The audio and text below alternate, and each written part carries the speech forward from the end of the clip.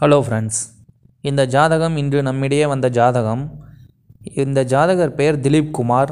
இந்த ஜாதகர் பிறந்த வருடமானது முப்பது ஜூலை ரெண்டாயிரத்தி ஆறாம் ஆண்டு மதியம் ஒன்று பதினெட்டு மணிக்கு பிறந்துள்ளார். வெறும் பதினாறு வருடங்கள் மட்டுமே ஆகும் இந்த சிறுவனின் தந்தையை இவர் துரதிர்ஷ்டவசமாக இழந்துள்ளார். அதற்கான ஜோதிட ரீதியான காரணத்தை கேட்டு நம்மிடம் வந்தார்கள். இந்த வீடியோவில் நாம் அதைத்தான் பார்க்க போகிறோம். துலாம் லக்னம் கன்னி ராசி உத்திரம் நட்சத்திரத்தில் பிறந்த இந்த ஜாதகரின் தந்தையார் இப்போது ஏன் இறக்க வேண்டும் என்பதை நாம் ஆராயலாம் வாருங்கள். பொதுவாக உத்திரம் நட்சத்திரத்தில் பிறந்த இவர் கடைசியாக நான்காம் பாதத்தில் பிறந்துள்ளதால் ஒரு மாதம் மட்டுமே சூரிய தசா இருப்பு இருந்துள்ளது.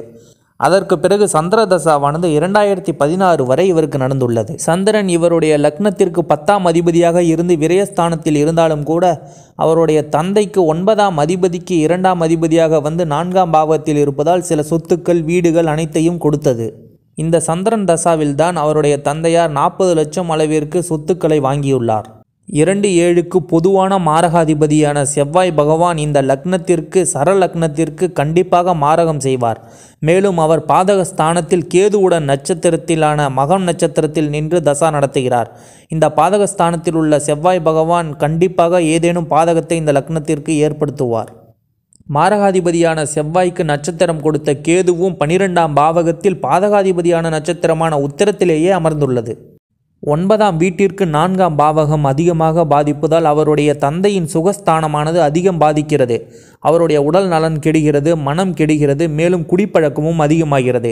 இதனாலேயே உடல் நலன் அதிகமாக கெட ஆரம்பிக்கின்றது. ஒன்பதாம் பாவகமும் திதிசூன்யமாக அமைந்து அவர் மற்றவர்களின் அறிவுரையை கேட்பதற்கும் தயாராக இல்லை. செவ்வாய் தசாவில் சந்திர புத்தியில் இவருடைய தந்தையின் உயிரானது பறிபோகியுள்ளது. அதற்கான காரணமானது இந்த லக்னத்திற்கு இரண்டாம் அதிபதியான மாரகாதிபதியான செவ்வாய் தசா மற்றும் இந்த ஒன்பதாம் பாவகத்திற்கு இரண்டாம் அதிபதியான மாரகாதிபதியான சந்திர புத்தியில் இவ்வாறு நடந்துள்ளது.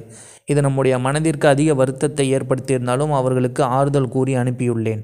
இரண்டாம் அதிபதியான செவ்வாய் பதினொன்றில் இருந்தால் லாபமாக இருந்தாலும் கூட அது பாதகஸ்தானம். மேலும் ஒன்பதாம் பாவகத்திற்கு ஆறு மற்றும் பதினொன்றாம் அதிபதியாக செவ்வாய் செயல்படுவதால் கண்டிப்பாக தந்தைக்கு மிகப்பெரிய ஆபத்தை கொடுத்துள்ளது. இதனால் குடும்பத்தில் ஒற்றுமையின்மை தந்தையினாலேயே பல பிரச்சனைகள் தந்தைக்கு நோய் மேலும் தன்னுடைய லாபங்கள் அனைத்தும் சரிவு அனைத்தும் தந்தை மற்றும் மகனை பாதித்துள்ளது. இந்த வீடியோ பிடித்திருந்தால் லைக் அண்ட் சப்ஸ்கிரைப் செய்யுங்கள். உங்களுடைய இந்த வீடியோவிற்கான கமெண்ட் அண்ட் கருத்துக்களை நீங்கள் கீழே தெரிவிக்கலாம். உங்களுடைய ஜோதிட பலன் மற்றும் ஜோதிட ரீதியான அனைத்து தகவல்களுக்கும் நம்முடைய ஜெய் ஸ்ரீராம் ஜோதிட நிலையத்தை அணுகுங்கள். ஏ ஸ்ரீராம்குமார் ஓம் சிவாய நமக.